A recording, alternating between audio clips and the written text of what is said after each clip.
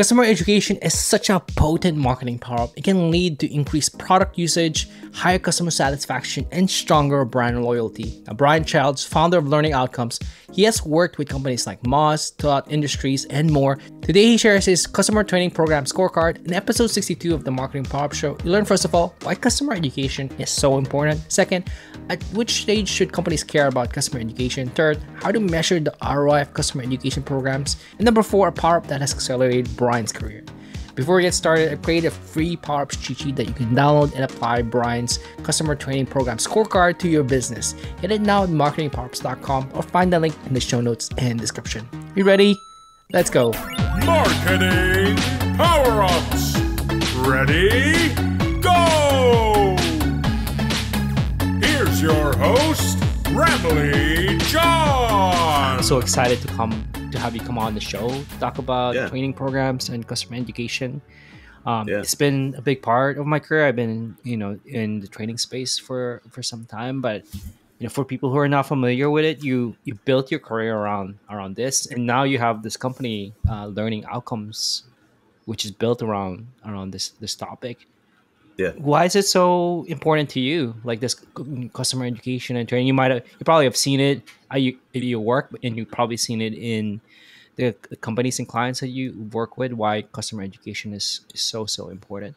Yeah, well, I, I mean, I've had a lot of different roles in my life. Um, in my, I've always enjoyed teaching, so I'd say that like uh, one of the things for whatever I mean, I don't know if you could measure it, but it's like the people who tend to end up in this space like sharing information with other people, um, and so that's just a quality that tends to exist with folks that are here. But I think for me, you know, it's like uh, way back in the day, I used to be a commercial pilot and uh, worked in aviation for about ten years and it was interesting to leave aviation and go into enterprise software um, and b2b businesses and it's like in aviation you know it's like we would train towards a very specific metric which was like safety you know and so you'd have this you'd literally have these stats down to like multiple decimal points in terms of like the how to uh, impact you know, positively impact safety.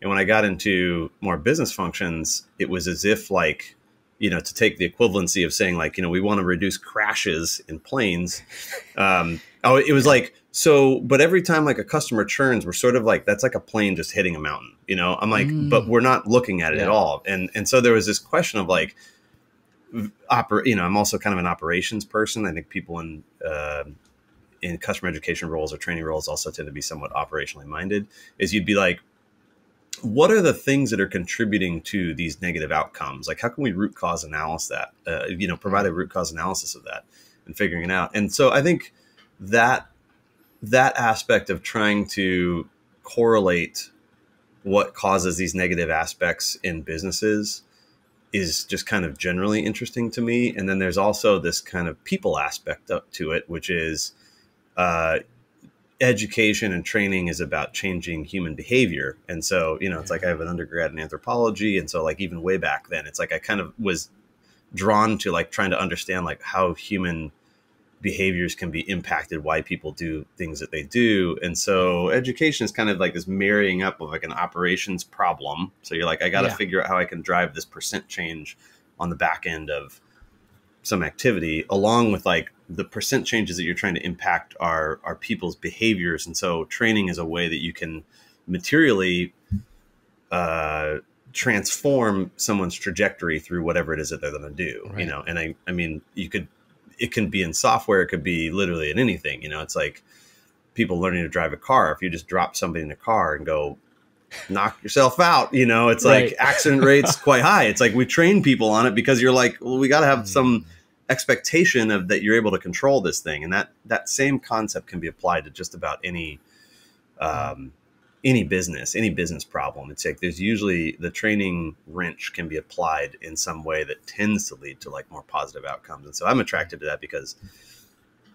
you know it's like i like producing business value um, and like um, you know, business strategy and operations and all that so there's a lot of components that go into it what I'm hearing is that you know the big part of it. I, I love that analogy with uh, with a car or even with a plane. You're not gonna drop somebody in a plane and be like fly you know 200 folks to to Yeah. Hawaii. without Yeah. giving them the training. And I feel like sometimes that's what we do with our customers. We're like, for sure. here's the tool, go figure it out. here's Yeah. some product tours. And I think that's uh, you know, without any thought around it, you're you know, there's those kind of approaches set them up for failure.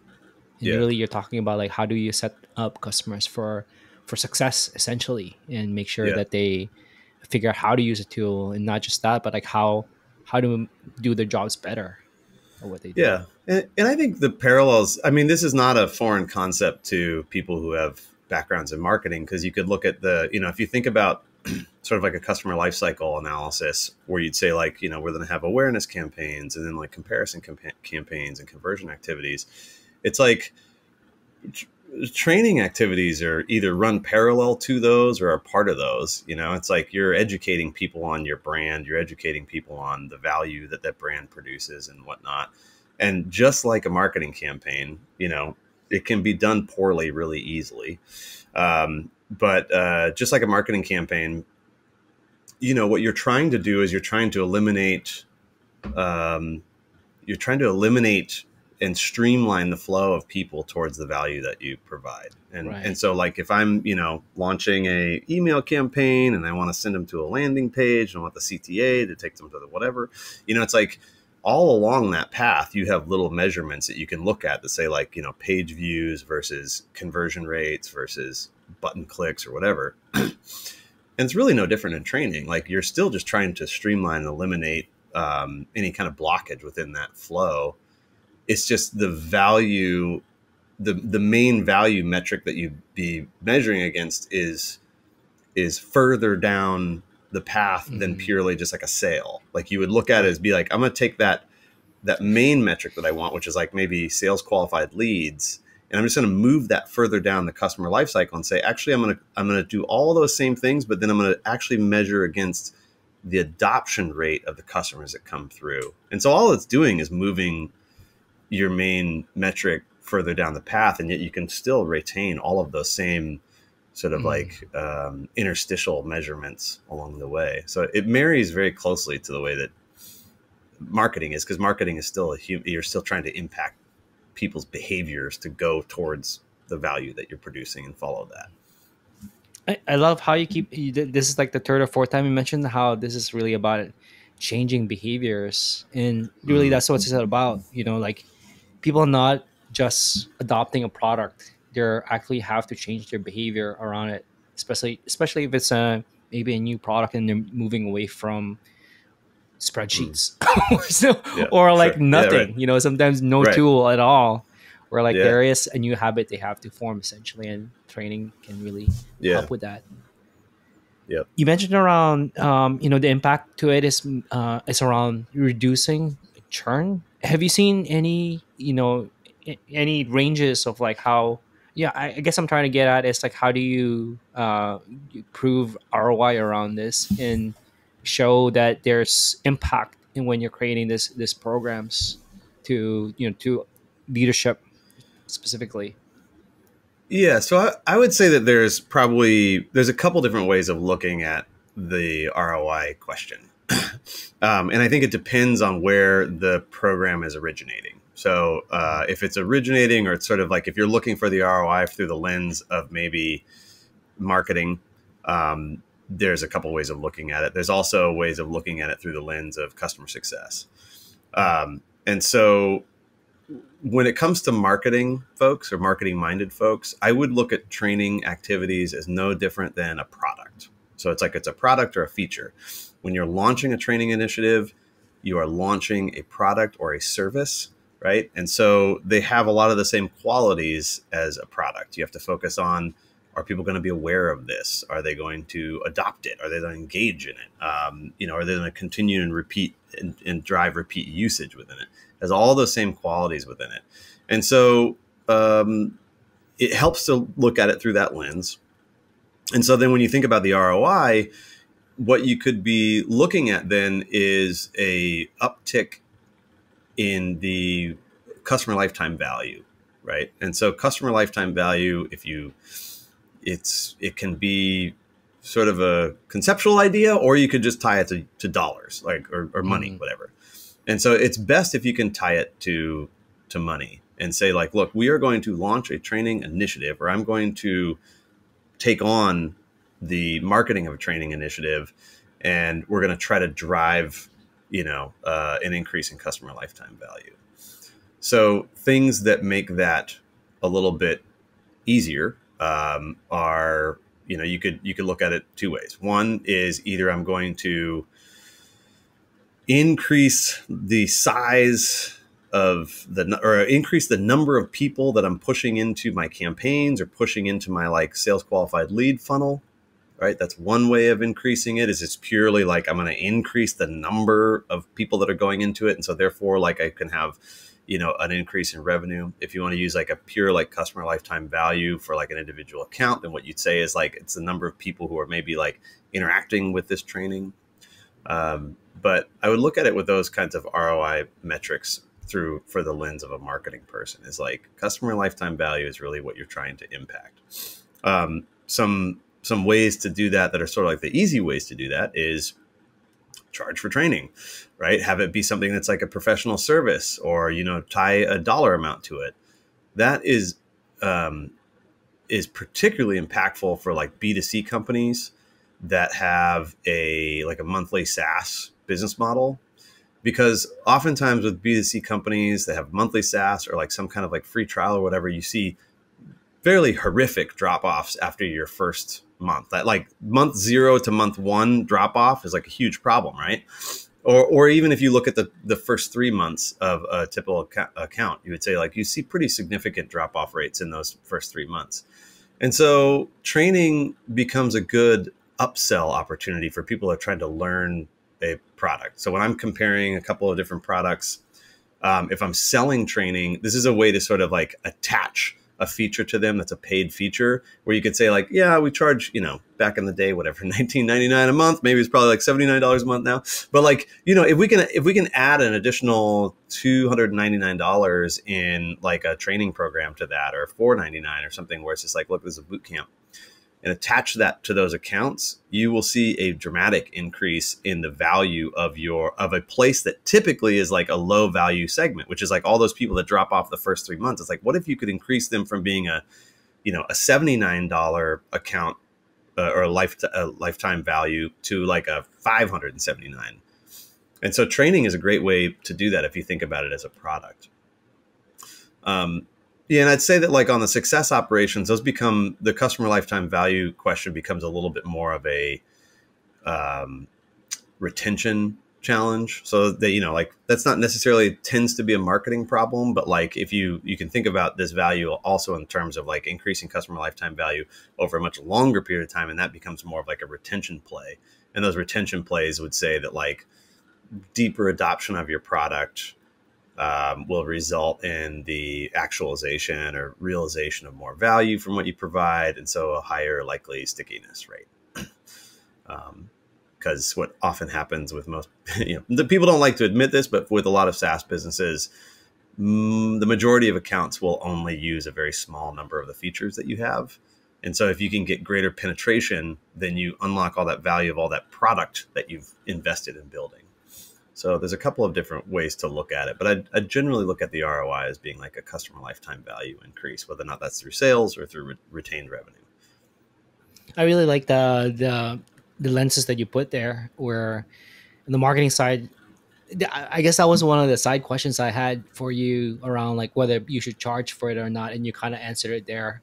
Um, um, do you have any guidelines around that where, you know, it, it's it, I see some companies that do charge for, let's say Salesforce. They they mm-hmm. charge for yeah. their training, right? Versus something like I'm not sure, something smaller like Pipe. Uh, I forgot that company that's like smaller, but like they don't charge for their training. Yeah, it, it might depend on segment, but do you have any advice for people specifically if they come to you and ask you, "Hey Brian, should we charge for our training program, or uh, uh 500 bucks, or like 30 bucks, or or not?" Yeah. what would be your, I, your advice to them? Yeah, my advice is it's pretty simple advice. My advice is that if you're training about your product, then it's probably free. If you're right. training about how to do the job related to your product. Now Mm. it's a now you have a capacity development on the team, and that's that's of extreme value. And maybe an analogy would be like, um, you bought you buy a car, okay, with every car or a you know a lawnmower or whatever. It's like when you Right. buy something, there's this little book that comes along with it that's like, here's how to put the oil in, and here's like what the lights mean or whatever, right? That comes with the car. They if they're charging you for it, you know, like go to a different dealership. But like, uh, you know, but nonetheless, it's like when you get that little manual that goes along with the thing that you're you've purchased, that's free. And the expectation in the market is that's free. It's like you shouldn't charge me to use your tool. For some enterprise platforms, there's a professional service that goes along with it, which people expect. But for the most part, like that's not that's like professional service, not necessarily like a training program. It's Yeah. more like an onboarding expectation. Right.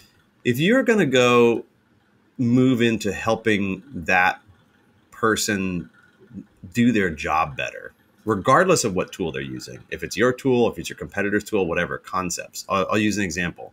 You know, I worked for uh, Moz. It was a search engine optimization software. I used to run boot camps on how to do search engine optimization. We would sprinkle in Moz, you know, into this because it's like obviously that was a tool that we had access to. I mean, Yeah. I had admin access to this thing, so it's like I would do it. But the concepts that were there were more like how to do this effectively, regardless of what tool you use.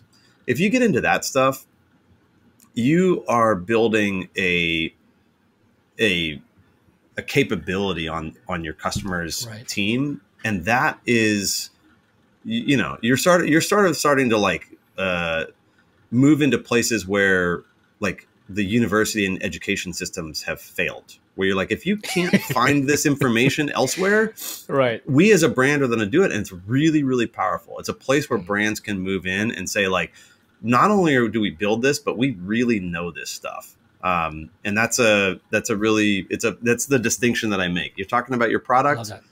Yeah. for b2c it's probably free if you're talking about how to do the job and do your job better and the best practices now you got your you got the rudiments of a of a paid training program Mhm. and and it's the really payment, more about the payment Sorry, increases the value, the perceived value too. That's the other thing too. Yeah, is like true. sometimes people will be like, "Oh, I don't want to charge that much." I'm like, "Charge for it. Charge. See what people will pay because the willingness to pay for that kind of information can be quite high." Uh, that really gets more into career development or like uh, skill development where Mhm. you know they have certain budget you know most people in, in working companies have a certain budget for training and Yep. this helps them do their job better or especially with certification programs as well it makes them look Yep. more hireable per se um, Yep. you know if they're looking to go to another workplace where you know i'm i'm not sure if there's Moz certified but it was or seo certified by Moz.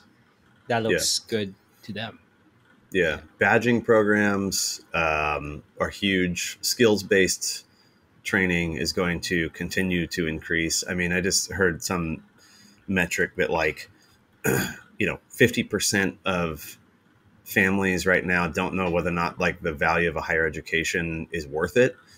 So compare that to 10 years ago where like 95 or 99% of people thought that higher education was an essential Yeah. thing. It's like that that uh edifice in our society is degrading and it's degrading quickly. People still need to develop skills. They still need to build a, you know, uh, constellation of capabilities that are going to help them within the job market. But the idea that the higher education system is going to be the place where you go for that is dramatically changing. And I think brands have a huge opportunity to step That's into that and say like we can capitalize on that value. We can we can create the um, infrastructure around that knowledge and be the place to know about it. For most most activities that we are involved in, right? Like anything that we do, there's usually only a couple really good ways to do it.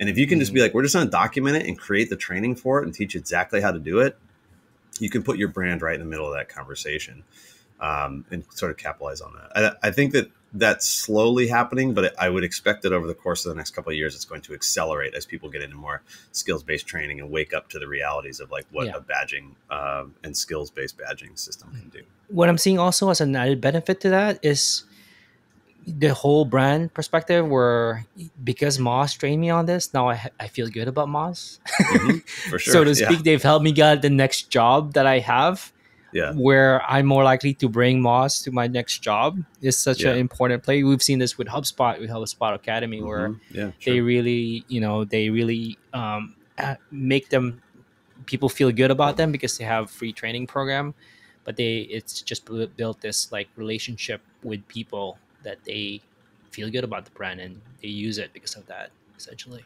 Yeah. I mean, there is a thing that I'll often repeat, which is, you know, people only learn something the first time once. So think Mhm. about that. You only you, you only learn something the first time once.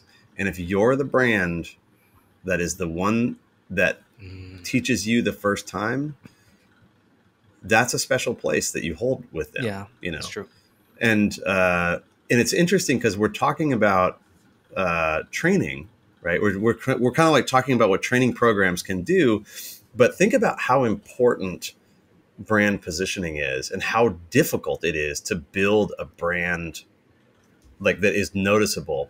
Training for marketers should be a place that they look to uh, to establish that brand positioning. It's relatively easy, right? You could be like, "Oh, we're going to be the Apple of whatever," and it's like that's really hard. You know, that's that's a hard thing to break out with, and because you can say it, you can tell me all day long. You're like, "Yeah, we're the Apple Right. of whatever," and I'm like, "Eh," like maybe. But if you're the place where I go to learn about it, now we have a special relationship, and you have a and, and I have a we have a special reason, right? If you think about lower down on the the uh, the sales funnel, now I have a very special reason to come back to you and see how that training impacted your life. You know, like think about a BDR that's been trained or an SDR that's been trained to go and be like, so how how did that go? Like, what you know, it's been a couple weeks since you've done that. Anything going on? You can create your funnel around that brand positioning That's around training. Yeah. And instead of it being a cold, e- you know, a cold email or a cold call, being like, "Hey, can I buy you an Amazon card or whatever?" you know, like no one likes that. But if it's all of a sudden like this consultative approach, where like we gave you some tools, are you using them? You're you're deep into the sale all of a sudden. And I'll and I'll add another thing to this as well for for marketers to consider is go to your sales organization, go to like your demand gen team, your sales ops team, and ask them um, what are the hard things to do in qualification. So you're, you know, you got these BDRs that are out there who have an, uh, a marketing qualified lead, and they got to get on the phone or send an email, and they got to go dig into a couple specific pieces of information to turn them into an SQL. Training because it's so because you end up talking about things in such an open way. If you structure it in a way where you're asking people questions about their organizations or about their roles, you can collect pieces of information that Mm, are those so hard cool. to gather Yeah. SQL, BANT, you know, whatever you BANT or MEDDIC, whatever your qualification criteria is, you can you can ask somebody in a training organization, well, what kind of budget are you working with? And it's not going to come off as sounding like a sales pitch. But you can if you can do that in a way that captures it in a in structured data, you can attach that to their account. So training is also not only is it a brand position, it's a huge opportunity to collect sales qualified lead criteria so you can move people quickly down the funnel and apply your sales resources in a much more sophisticated way. That is just blowing my mind. I don't, I don't see a lot of organizations doing. Have you seen any companies like do that well, where like they've really integrated a training program into um, their sales process or qualification process? It's new. I'll, I'll say that like when I when I talk about this to other pro, to companies, they're like, you know, like oh my god.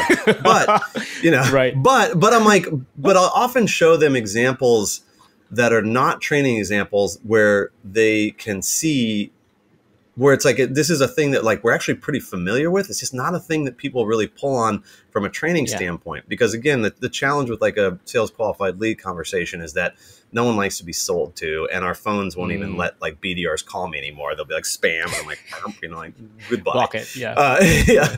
Um, but like I'll give I'll give you a non-training example where this is where this is the case. Okay, so when I go to you know Zillow or Redfin or something like that, it's like, and I'm going to plug in information about my you know mortgage calculator or whatever. these kinds of calculators that are out there where people are plugging in information that's going to help me, you know, determine what I can do or whatever.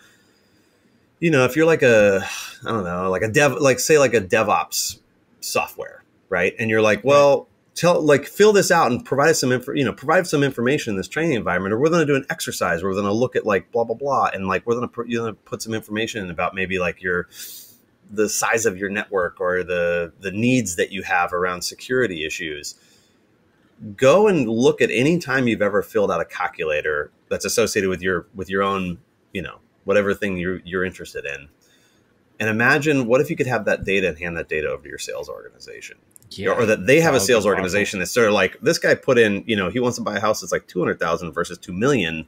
Well, there's a big difference between that person that we're going to put the AE on the person that has like the $2 million budget, not the $200,000 budget.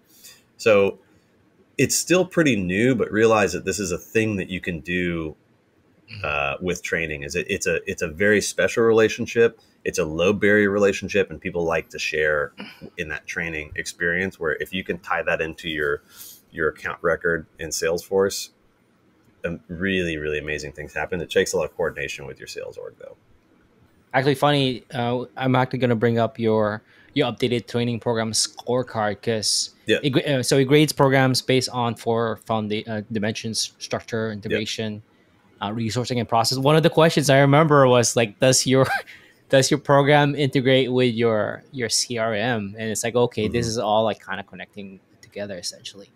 But yeah. you've you've launched this relaunched this scorecard. It's like updated. Uh, I'm curious, like you must you must start seeing patterns in terms of the oh, data. Oh, yeah. Are there any specific pattern in terms of like where programs need help the most, or any other interesting patterns you've seen based on conversations or the data you, that you're getting through through the scorecard? Yeah. So the scorecard uh, that you're talking about is uh, we've relaunched this thing uh, on learning outcomes, which is uh, an opportunity for program leaders to get uh, an assessment um, of their program. And like you say, we measure on four different dimensions. Um, and then it, it, creates a little report, gives you a score across these four different dimensions. And in that report, what people are doing or what they're telling me they're doing is they're taking that report and then going, and, that that's a good way to sort of like start a conversation with the your yeah. executive sponsors and be like, look, you know, like these are the areas we need to really focus on. So I'll I'll take you behind the scenes on what's going on with the scorecard a little bit the scorecard is measuring two different main dimensions. Okay. Those two different dimensions are the person who's filling it out and the organization that they're in. And I'll use an analogy to say that, like, um, you know, if you go try to plant an, an apple tree in concrete, you're not going to really get a lot of apples out of it. Right. So it's like you could have a sophisticated, viable program leader but your organization might not be set up to make or capitalize on that person's capabilities. And so this scorecard really measures these two different things. One is there's a lot of questions in there that about you. So it's like, do you do this? Right. Do you have like what are the capabilities you bring to the table? And there's a lot of stuff that talks about like how siloed is your organization?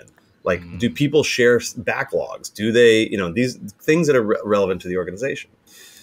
And so, what the interesting aspect of of the data that's coming out of it, and maybe this is no surprise, but it's like the people who are taking it more often than not are scoring relatively high on the things that they themselves are in control of. So, right. maybe you've worked in these roles before. Maybe you've done these kinds of activities before. Maybe you have a good sense of process and you know the language of how to do all of this. You can execute it if given the opportunity.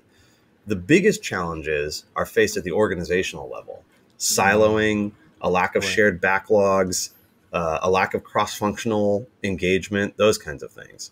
So it's like, even if I was to give you all the power in the world and the biggest budget in the world possible, the organization that you're working in is not ready to capitalize on the opportunity of customer education. And I would argue that right. these the same kinds of things, the similar types of questions could be said about sophisticated marketing campaigns where it's like you might be a really great marketer, but the organization that you're planted in is not really capable of doing of executing what is required, which is like a, a cross-functional engagement with a customer that follows them down the life cycle and keeps you know keeps the value story consistent throughout the whole thing all the way to the point where they they buy and adopt your solution That's so. Yeah, I've seen that time and time again. It, it seems like it's it, it's, it's more organizational slash political issue, or more like a data issue, or maybe both, where like systems are not talking to each other, and the organization hasn't, I guess, set all the pipeline and all the process in place so that they can take advantage of the program, the training program more across the org. Yeah, I would. I think you're touching on the two. So there's really three. There's three dimensions. So I'm mentioning one is like the person, and the other is the organization. I would break the organization into two aspects, and you can think of this as a two by two matrix. So if you want to like, you know, if, you, if your audience wants to visualize this, the two by two is. Uh, I do love a two by two. Um, the two by two is uh, on one side would be data architecture, right? And so data architecture would be like, how do you store it? How do you join it? The availability of, of analysis, like to what degree are you able to ask sophisticated questions of your data? And by your data, I mean across all of the different systems that you have. The other dimension, so one would be data architecture, the other dimension would be cross functional collaboration. Mm. So, to what degree do different teams across your customer lifecycle work together or don't to set priorities? So those are those are the two that's on the side of the the custom of, of the uh, the company. It'd be like data architecture, cross functional collaboration.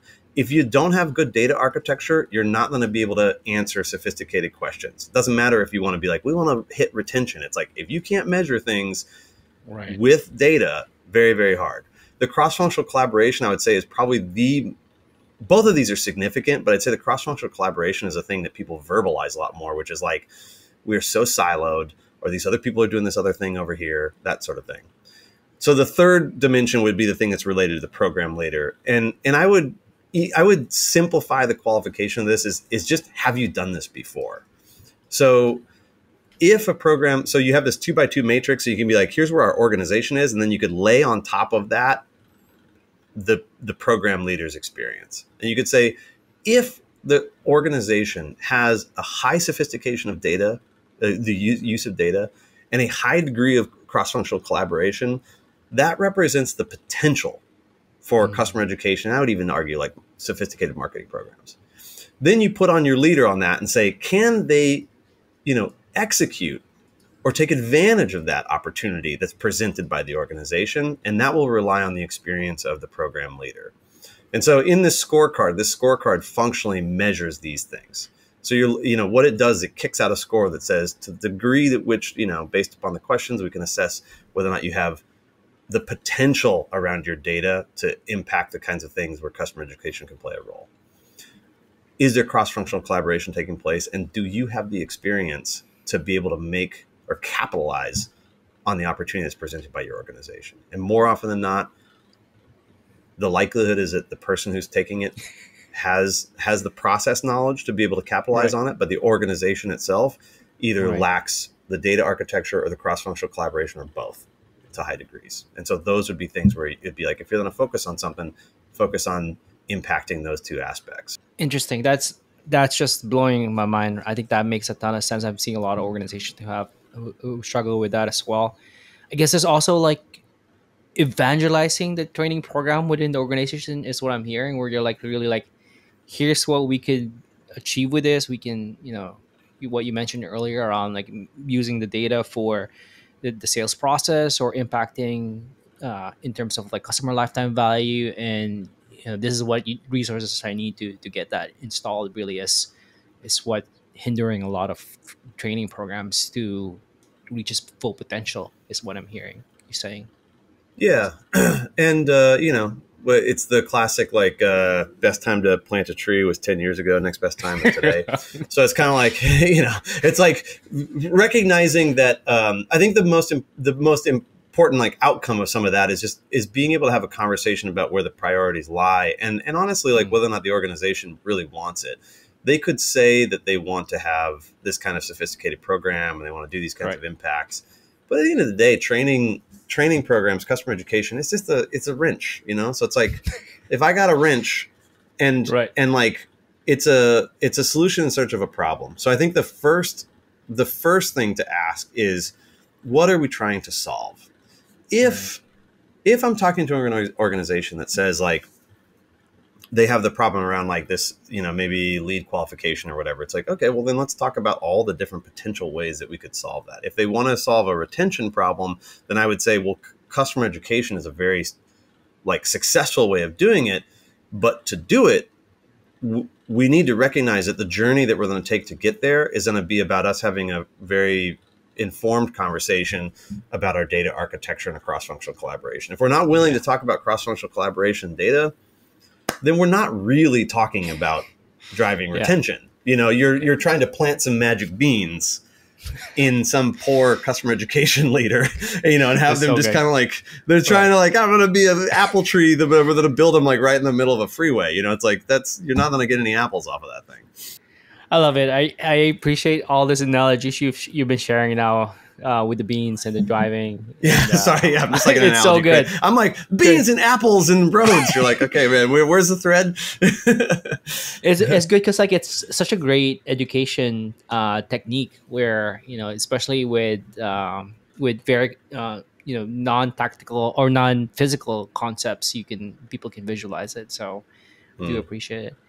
Yeah. I, I want to ask around um, what specifically a company that you or you've worked with in the past or you've seen where their their training program is is world class. Is there one that sticks out for you, or like you know, if people are gonna check out what training program should look like on the like on the outside, you should check out this this company. Is there any ones that specifically stand out for you that you've seen in, in the past, or um, you know? Well, I I would I would go back to the statements around. So rather than saying like this brand does it really well, I, I think it's important. You know, like you could point HubSpot and be like HubSpot Academy and like Courtney Sembler and whatever she- you know what she does is like really incredible. But the qualities that make it, it's I think it's better to focus on what are the qualities that would make for a good program rather than like why is it good? Mm. Because it's very easy to look at some programs, particularly smaller like uh, maybe like mid-market SaaS companies, and what you're observing from the outside is like Herculean effort on the part of a individual or small group of people that are like pushing that forward, and that like they might be working against headwinds. So it's kind of hard to tell from the outside sometimes when you're looking at a program Yeah. as to what's actually functionally causing it. I would I would encourage people to um think about and develop ways or use things like the scorecard. You can use the scorecard when you're when you're going and um, as an interview guide too. So if you're like looking for work in customer education, you know, ask those questions to That's a good the idea. company that you're interviewing and like get get them to divulge Right. those things because if you can, you can build a profile around it. The it's not the it's not that a company is doing it really well. The question is what are the underlying factors Mm, that are resulting in a company being able to do it well. And each one of those cross functional collaboration, data architecture, program leadership, each one of those can change. So, what was good two years ago at a company, maybe through a reorg or through the, the realities of you know budget changes or a person left and got a new job each one of those could dramatically change like the current state even if they were really good a couple years ago so i would I would uh, refrain from like saying this company is doing it but well, and I'd, and I'd encourage people rather to like understand that the fundamental architecture of what causes programs to be good um, is is more is more important than the, the brand name itself. There are good programs out there, but I'd say I'd equally say that there are really really phenomenal people driving them, and they might be Mm. working against severe headwinds to do it. All right, I will link the the scorecard. I love that a suggestion. If you're going to an interview about customer education, ask them those those questions. That will be helpful. Yeah, yeah, yeah. The original, the original version I ever built with those things was actually like an interview guide for myself when I was like looking at programs. I'm like, I don't want to go into dumpster fire, so like, how can I avoid this? You know, and like get people to answer questions that they don't. I was doing my own like SQLs. You know, I'm just sort of like, is this a sales qualified lead for me to join this company? So like that, use it in that way if you want. So like I don't care if people Oh, fill it out multiple, multiple times. Oh.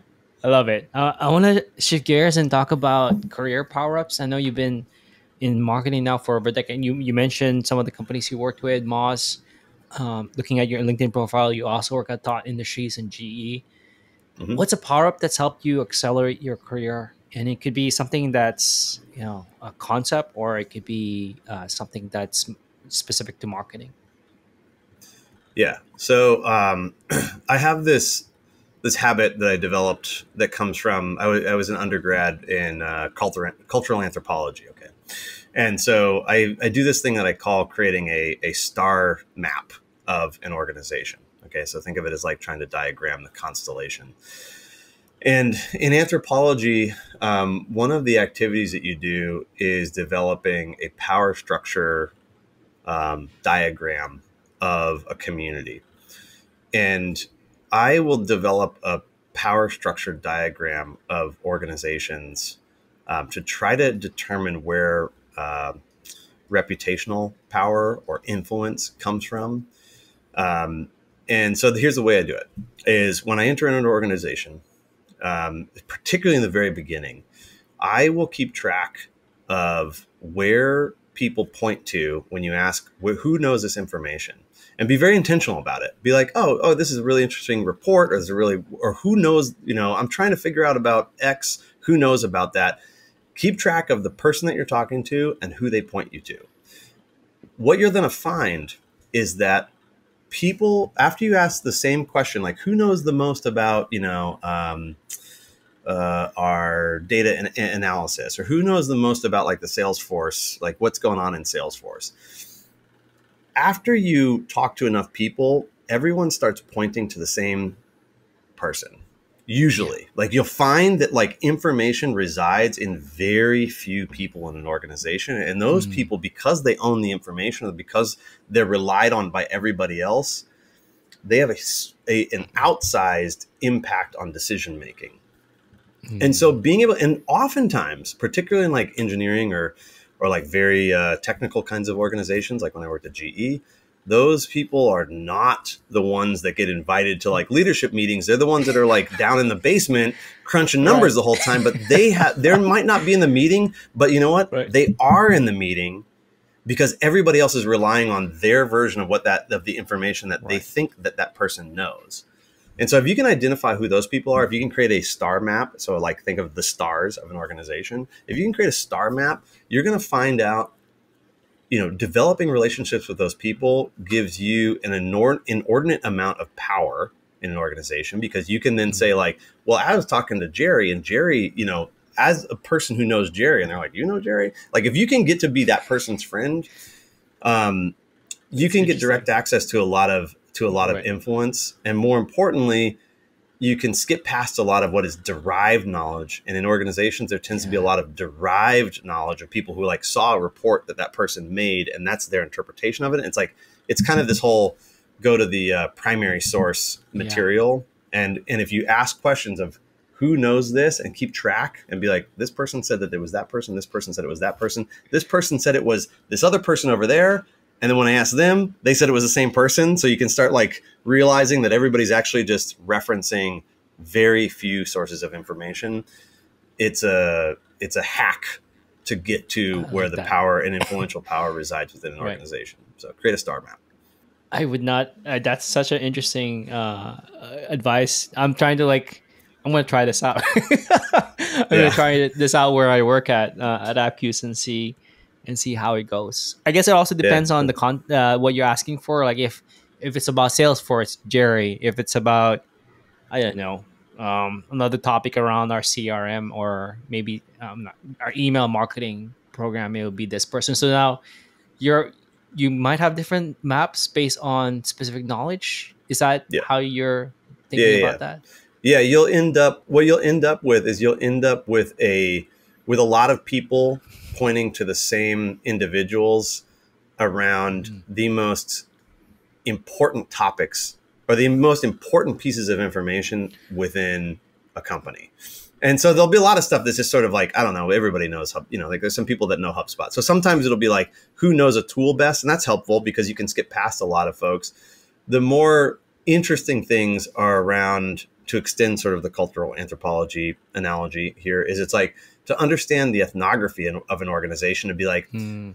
which of these people, maybe they're not the CEO, maybe they're not even the senior executives, which of these people are the ones that are describing for this entire organization how the sun goes up and down in our world? You know, like, why do we believe that this is what the competitive landscape looks like. Well, it's like it might be because there's one or two people that either have data or have a tremendous amount of influence on the mm. way that the perception is. If you can understand that, it's like you can just short circuit a lot of the like the the the, the cross functional inefficiency that goes with hierarchy and just go directly to those sources and be like, hey, I have a couple questions. Tell me how this works, and you can get right to the individuals that have that. I love that. And it's all about like what you mentioned earlier around like you know, helping you get buy-in, cross-functional collaboration, and uh, you know really helping you uh, level up, I guess, and get get stuff going if you need to. Yeah, yeah. It's like use the influence of the organization to your advantage, and and that and, and oftentimes, more often than not, it is uh, disconnected from the the hierarchies that are installed mm. around leadership structure. Oftentimes, there's a whole separate, invisible, horizontal aspect to it about like how information flows through organizations. If you enjoyed this episode, you'd love the Marketing Power Ups newsletter. Share the actionable takeaways and break down the frameworks of world-class marketers. You can go to marketingpowerups.com to subscribe and you'll instantly unlock the three best frameworks that top marketers use hit their KPIs consistently and wow their colleagues. I want to say thank you to you for listening and please like and follow Marketing Power Ups on YouTube, Apple Podcasts, and Spotify. If you feel extra generous, kindly leave a review on Apple Podcasts and Spotify and leave a comment on YouTube. It goes a long way in others finding out about Marketing Power Ups. Thanks to Mary Sullivan for creating the artwork and design, and thank you to Faisal Kaigo for editing the intro video. And of course, thank you for listening. That's all for now. Have a powered up day. Marketing Power Ups! Until the next episode,